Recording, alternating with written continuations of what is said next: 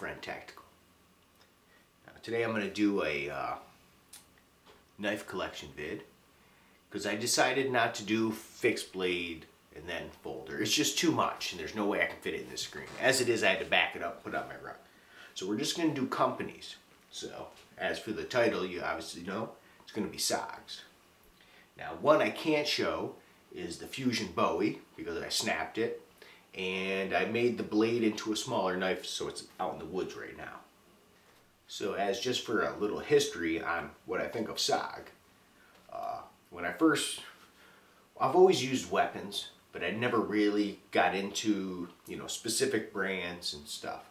And then I got deeper into it, and I love SOG. I thought SOG was the shit. It was the cat's ass, donkey tooth, horse's hoof. It was all that. Uh, and a lot of them are pretty sick. Now, they're, they charge a lot for lower level stuff. That's one thing that gets me about SOG. And for me, like their mediocre and lower stuff isn't that great.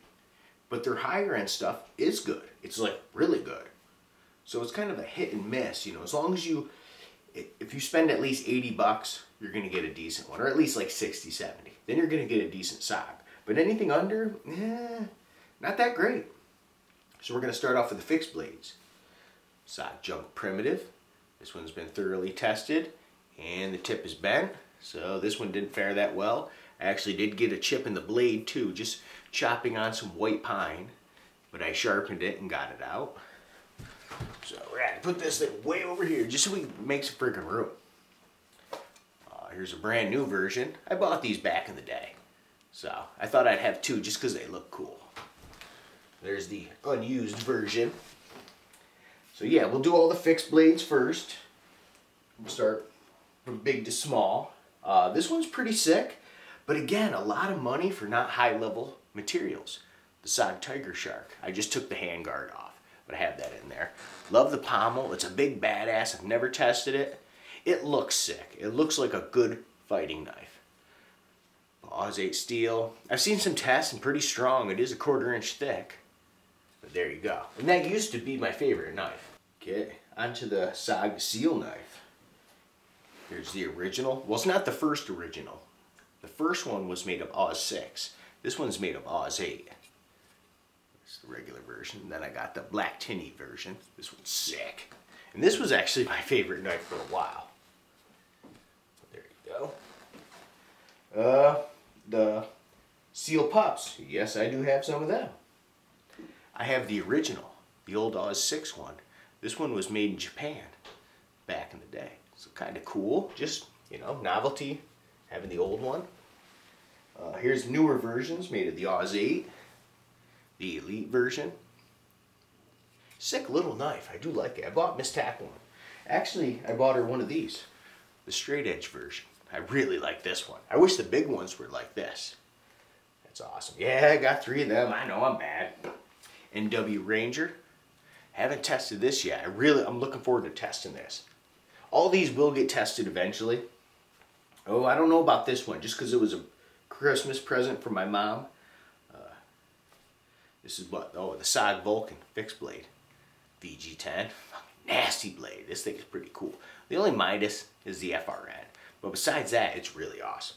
So I might not test that, just because that was a present from mom. Okay, this one you've seen tested recently, the Field Pup 2. Eh, it did okay. Steel chipped. But eh, I do like the grip, even though it got really beat up and mangled. Okay, here's the, this is actually the old one. This is uh, the Field Pup 1, but this is the first generation when they were back in Taiwan. So this one was AUS 8, and the newer ones are the 7CR 17 MOV. This one's actually pretty neat. I like the, the shape and the feel of that one. Yeah. Well, this is the last fixed blade. That freaking revolver hunter I just tested. This thing is freaking whack. But yeah. So there's my SOG fixed blades. So now for their folders. Uh, kind of like I said, if it's under 60, 70 bucks, it ain't that great, except for the Twitch 2. It's a little knife, but it's really well built. Definitely a solid knife, all metal construction, good lockup. flipper assisted. I'm not a big fan of assisted, but it does work very well. Also have the black version of that. Same thing, just the black TiNi. Now on to some of their ones that I'm not a huge fan of. FRN handles, no steel liners, flash 2. I know I'm going to get a lot of hate. Sorry. If you love this knife, I'm not kicking your friggin' dog in the balls, you know? I'm just ripping on my knife. It's not your knife. This one's mine. But I don't like it that much. So get over it. Trident. Tonto version. Uh, this one, I carry this every day off. Freaking locks on it. Damn, I hate these locks. Trident. This one I've been carrying for a couple years. And here's another one. Yeah, I know. I thought it was cool back in the day. Oh well. Twitch 2XL. Now this one is a good one. This is like an $85 knife. Satin with a Tonto. Definitely well built. This is in the folders besides these down here, the Twitch 2. The rest of these are just kind of chintzy when it comes to their folders. So this thing is pretty nice. That's a good knife. So I had to get it in the black TiNi. I'm bad. Let's see what else I got. Well, this one has the damn FRN handles, but I like the blade shape. SOG Mini Aegis. But it still has that, you know, drawback of no steel liners, cheesy FRN. Nice blade shape. But a lot of these knives are lower, not lower grade, but mid-grade steel. AUS 8 or less. Full size Aegis. I do like how the black look. It feels pretty good. It's just eh, FRN. Now, some of these other ones have FRN, but they just feel a little bit better. The tooth lock, I do like this one. This is my only Samurai uh, folder, VG10 and 420. Nasty recurve. I do like this look, little knife a lot. It's like a little piston lock on it, right there. It is well made. This was about, well now I think it's about 90 bucks, but it was like 80 something back in the day. This thing's actually freaking really smooth. Visionary 2, man. I mean, like, ridiculous. Ridiculous smooth. And as I use it more, I've had this for years, but, you know, I just pull them out, mess with them a little bit. But damn, this thing is freaking actually really nice. Not a lot of traction on the handle, but it does have a good shape, and that blade is sweet. Like I said, very smooth action on that. Here's the black, or the Vulcan Black TiNi. This thing's very nice nice and thick, VG10. But there you go again with that damn FRN, but flipper. This thing's actually a beast. I really do like this. This was like my favorite folder at one time because it is very nice. And then my last SOG. Hey, no FRN. It's got Kraton instead. Tomcat 3.0. Love this thing. It actually won Knife of the Year. I can't remember what year it was, but ultra stupid smooth. Beautiful recurve Bowie VG10. Super thick. Very, very well done. The best SOG, like highest level out of all these is this freaking thing right here. This thing has the best fit and finish. It's the most well done. Love that folder. That's one of my top folders. So there's my little collection of SOG knives. Uh, counted 27.